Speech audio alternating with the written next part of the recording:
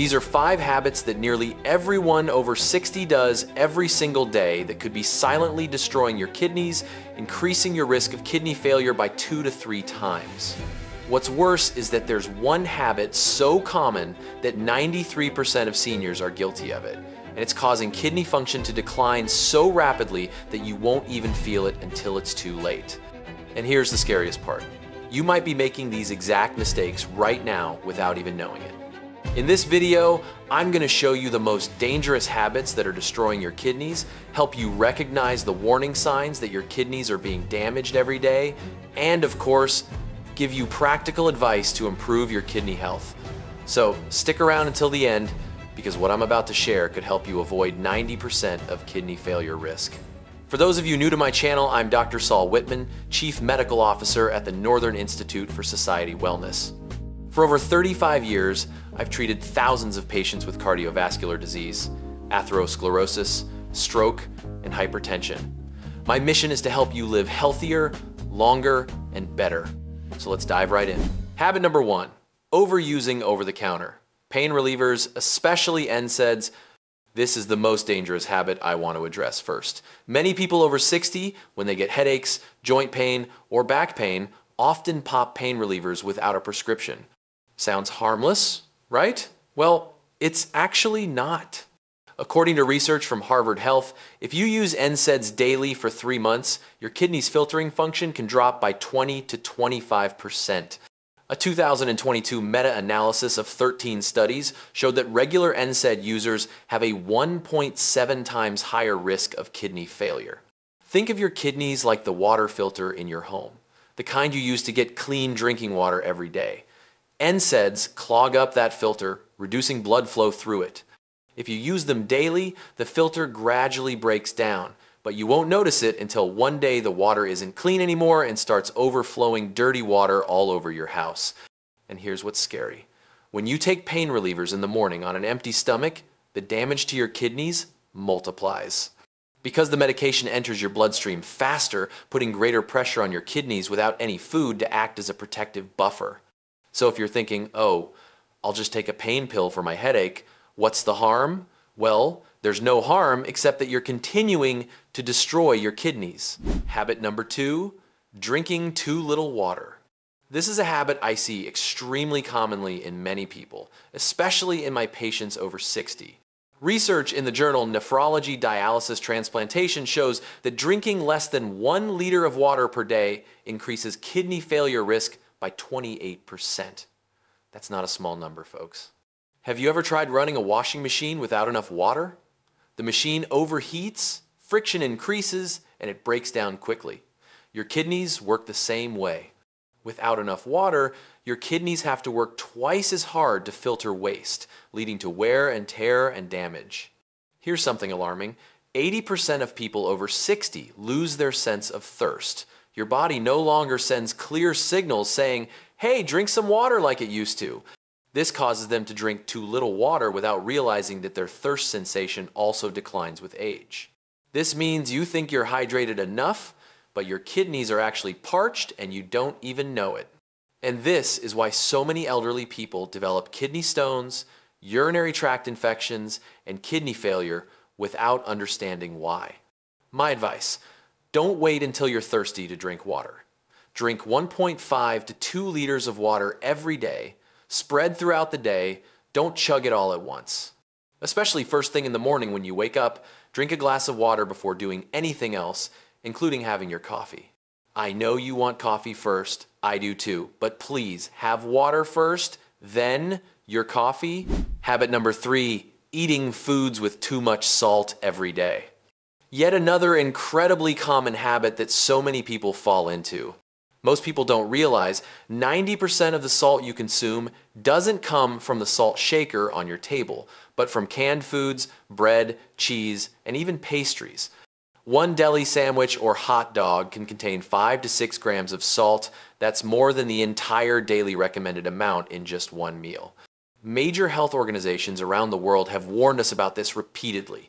The WHO recommends consuming less than 5 grams of salt per day, but in reality, many people consume way more than 5 grams.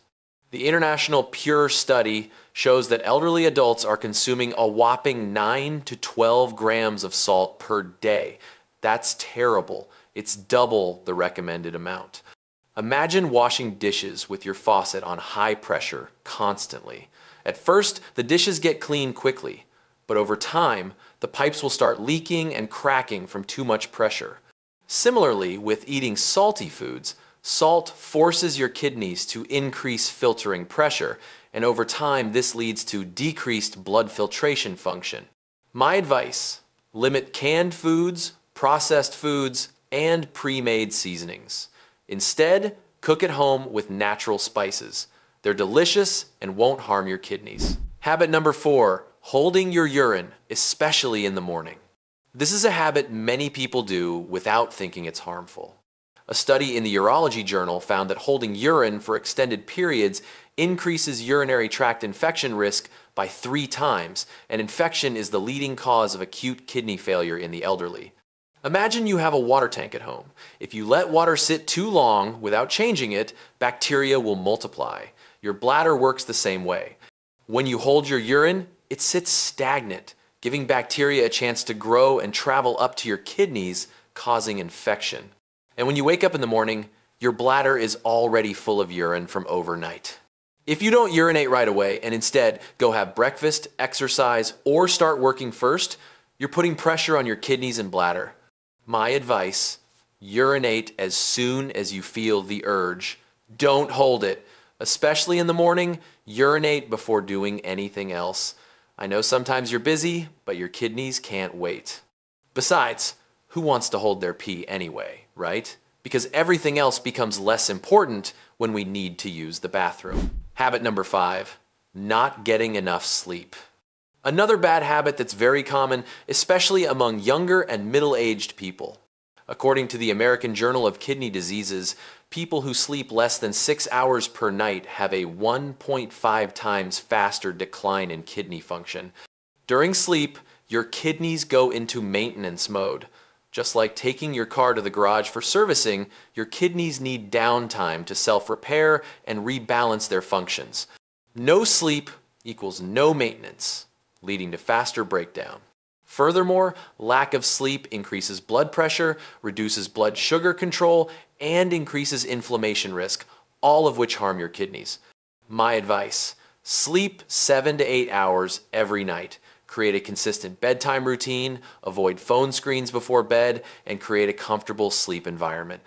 And parents, if your kids or grandkids stay up late to work or watch shows, let them know how seriously that affects their kidneys. A scary truth you need to know?